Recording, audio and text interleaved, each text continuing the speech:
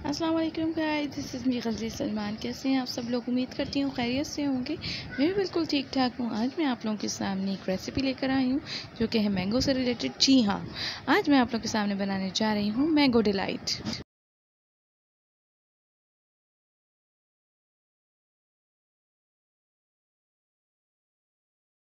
so these are the ingredients ये ingredients हैं, जिसमें mango banana milk custard powder cream sugar और jelly है।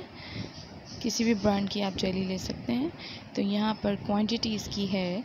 हमने वन के जी मैंगोज़ ले लिए हैं।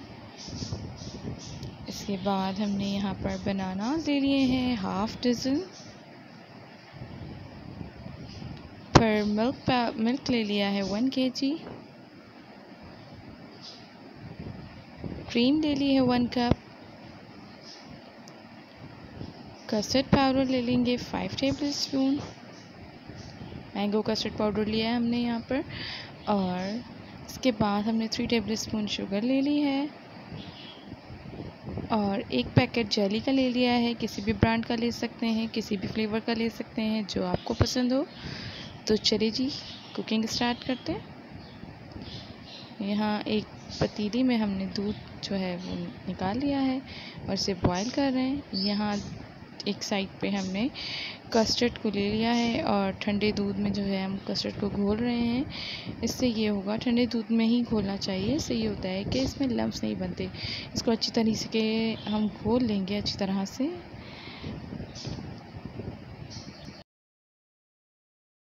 अब उसके बाद हमारी जो मिल्क है वो बॉयल हो चुका है, इसमें एक बॉयल आ चुका है और हमने इसके अंदर शुगर भी ऐड कर दी। हम इसे बना रहे हैं अच्छी तरीके से। हमने यहाँ पर शुगर डाल के इसे मिक्स कर लेना है और एक और बॉयल देना है दूध को।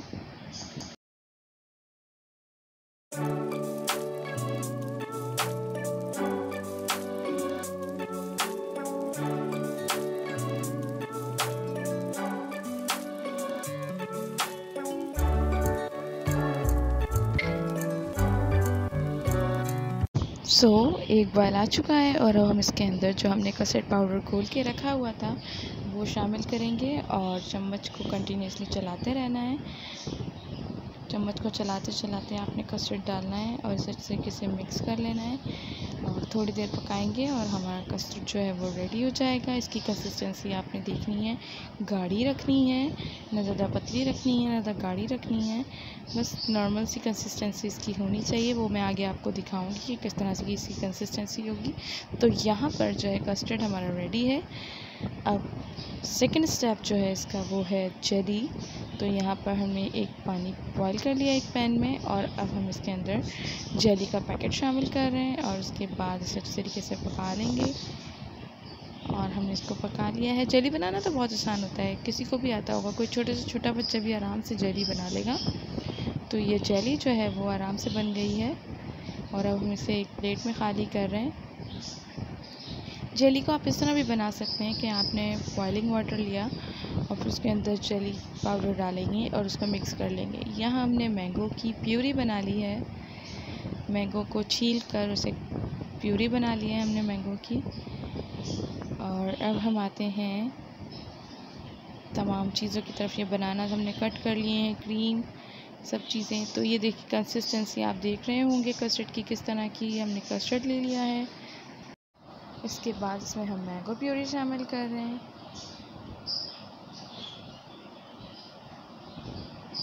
और अब हम इसके अंदर क्रीम शामिल कर लेंगे। हमने मैंगो प्योरी शामिल कर दी है। Now we have to add cream in it हम इसके अंदर क्रीम शामिल करेंगे। अब हम क्रीम शामिल कर रहे हैं। ये हमने क्रीम जो है उसके अंदर डाल दी है। और अब हम क्या करेंगे कि इसको अच्छी तरह से विस्कर की मदद से विस्क कर लेंगे। तो यहाँ पर हम इसे विस्क कर रहे हैं। इसे विस्क कर लेंगे, मिक्स कर लेंगे अच्छी तरीके से कि प्यूरी, कस्टर्ड और क्रीम जो है वो बिल्कुल एक सा हो जाए। तो यहाँ हमने वस्कर की मदद से इसको वस्क कर लिया है। Now we should have to add mangoes in it यहाँ पे हमने जो मैंगोज कट किए थे उसके हाफ़ मैंगो जो है वो हमने इसके अंदर डाल दिए हैं, बाकी गार्निशिंग के लिए रख दिए हैं। यहाँ हम बनाना जो है वो सारे के सारे इसमें ऐड कर देंगे।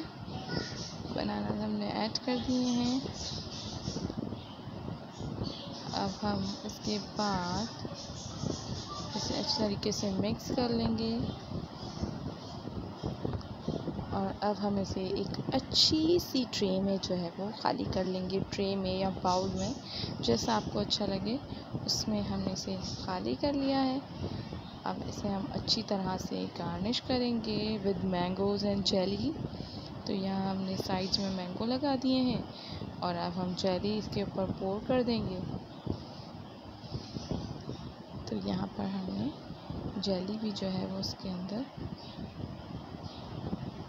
स्प्रिंकल कर दिया आप चाहें तो उसके ऊपर जेली भी पो कर सकते हैं, यानी कि एट अ टाइम आपने जेली बनाई और गरम गरम इसके ऊपर डाली और डालने के बाद इसे फ्रिज में रखें। काफ़ी देर तो वो जरी जम जाएगी। तो वो भी बहुत एक अच्छा लुक आएगा। जैसा आपको अच्छा लगे वो काम कीजिए। तो यहाँ मुझे कमेंट सेक्शन में ज़रूर बताइएगा कि आपको मेरी ये रेसिपी कैसी लगी है। सब लोग अपने अपने घरों में ज़रूर ट्राई कीजिएगा। और मुझे ज़रूर बताइएगा कि आपको ये रेसिपी कैसी लगी है। मेरी वीडियोस को लाइक ज़रूर कीजिएगा। मिलती हूँ किसी अलग वीडियो में, अलग ब्लॉग के साथ या किसी नए रेसिपी के साथ। जब तक के लिए अल्लाह हाफ़